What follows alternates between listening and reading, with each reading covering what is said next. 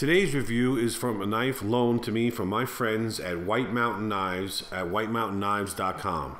Whenever you get a chance, check them out. Fantastic customer service, great selection of knives, and great prices. That's whitemountainknives.com.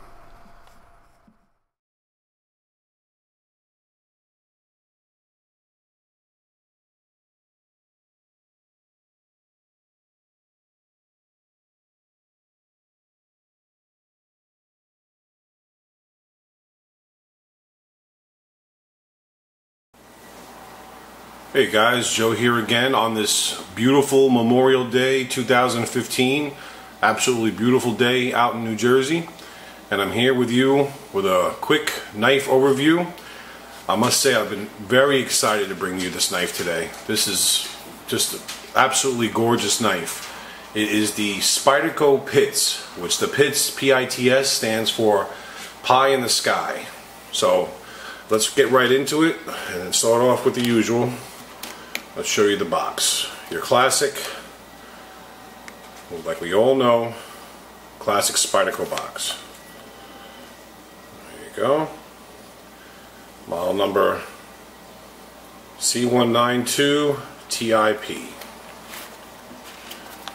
Okay, let's go back a little bit. Alright, let's take it out. Now I've had it out of the box already, but to show you the presentation,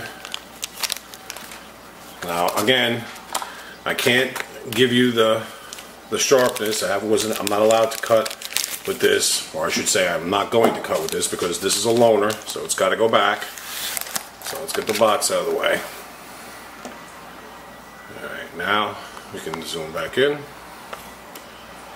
and here it is, Spyderco Pits.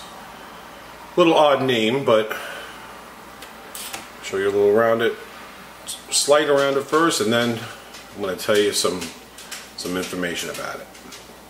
So let's open it up.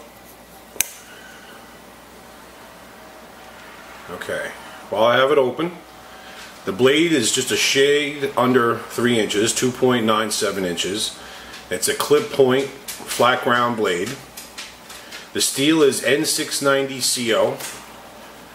I believe the last Spyderco slip joint that I um, that I um, reviewed, which was the Roadie, also is made of the same steel.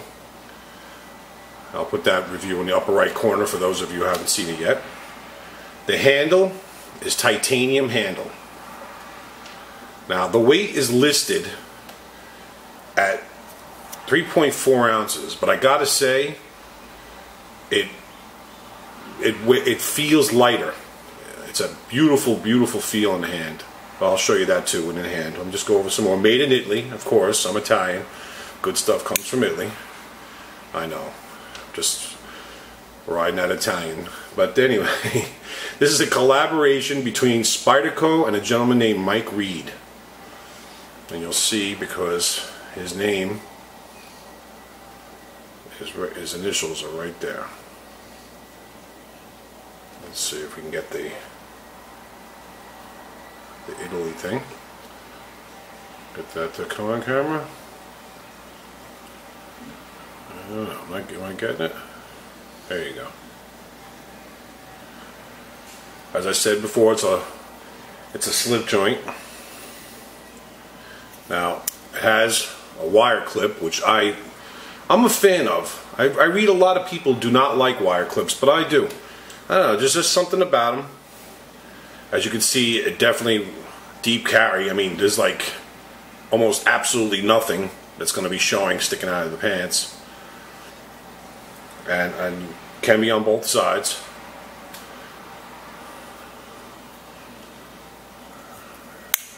I love the way the handle is milled, the way the for you know for cutting weight. It's absolutely gorgeous. Show you I want to show you this up close. You can see this part actually pops up hopefully I'm getting that. Let me see if I can kind of zoom in a little more. No let's fade back a little bit. There you go. You can see as I move it, pops open. The centering,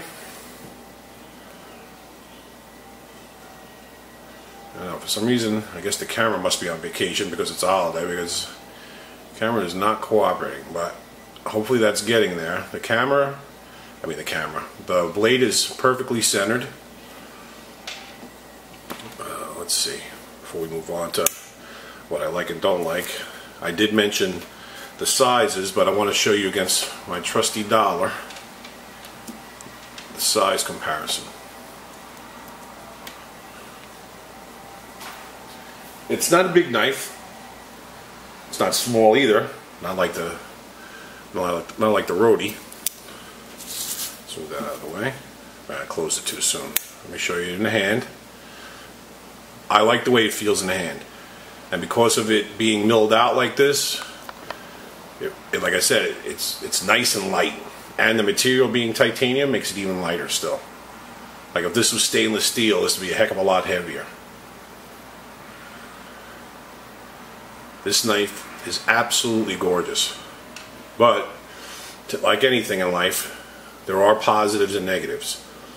Positives, beautiful, like I said.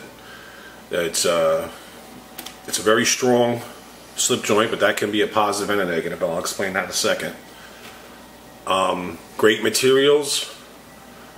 Uh, again, like because I can't cut anything with it, but it does feel pretty sharp. And I know I'm starting to sound like a broken record, but I, Spyderco rarely disappoints. Always sharp. I don't have my cloth handy, so now I can't wipe that smudges off. But I thought I was prepared. Alright, now two negatives. Which this one I said might not be. I just got finished saying it's a strong slip joint. Well, that could also be a negative. It's not easy to open with one hand. Now, if you're a person that doesn't open knives with one hand, no big deal. I like opening knives with one hand. Now, you saw me just do it, but I've already opened and closed this knife I don't know how many times. So maybe I'm breaking it in. Maybe this is just the way it is. I don't know.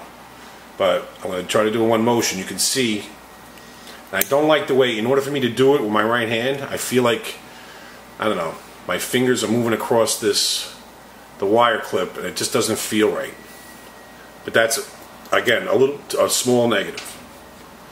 Now, the one and only really big negative. This knife sells for $250. Now, slip to buy a slip joint, and by the way, I didn't mention this, this little, this little, looks like it's a flipper here. It's not. It doesn't flip. You can't open it that way. $250 for a slip joint knife. That alone is probably going to shy a lot of people away from this knife. It breaks my $200 rule. If you've seen any of my other videos, I've mentioned that, you know, so far in all the years of uh, collecting, I uh, refuse to go over $200 and already at 250, you might say, oh, come on, Joe, 250—it's only $50 more, or maybe get it for 245, 240." Still, I don't know, there's just something about 250 for uh, a slip joint just doesn't seem right. And I know, you know, I'm sure there's a market for this. I'm sure that, you know, Spyderco is probably not you know, doing bad with selling this knife, but I can just imagine the sales they would make if this knife was like, I don't know, I'm not going to be crazy cheaper, but let's just say a buck fifty. Would I buy this knife at 150? Heck yeah. Even though really a slip joint for me, well no, non-licking, non-licking, excuse me, non-locking uh, system, you know, uh, it should, in my opinion, you know, it's just my opinion, should be cheaper you uh, know, still though, 150, this knife is worth it. It's absolutely gorgeous. You, you really have to hold it to appreciate it, the, the, the lightness of it, the beauty of it. But as it stands, $250 for this knife.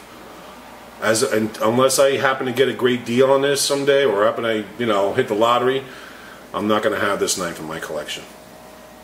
Unfortunate. And it's very unfortunate. This is a very, very nice knife. I don't know why this camera is not cooperating with the focusing. Evidently Mr. Read's middle name must be Jay. I don't know it offhand. I'm going to put a, a bunch of comments in the description about everything about uh, Mr. Read and the type of steel and how this you know this came about the, the collaboration between him and uh, Spyderco and also maybe I think there's even a little mini story about why it's called uh, pie in the sky because the pit stands for pie in the sky but I want to show it to you and I wanted to wrap it up one last time closed both sides and then one last time open. Absolutely beautiful. If only it was a little bit more affordable. I love the way this, I mean I don't know the technical term for this, you know, this slip joint right here, but the way it, it, it moves as you, I think I got it good on camera that time. I don't know what the heck that noise is. Beautiful. So there you have it. The Spyderco Pits stands for pie in the sky. Hope you enjoyed my review. And uh, please, uh, I haven't mentioned this in like maybe the last dozen videos, but uh, please like, share, do what you got to do. do was it? Do the necessary, do the needful. And I hope you enjoyed the video. Take care, everyone.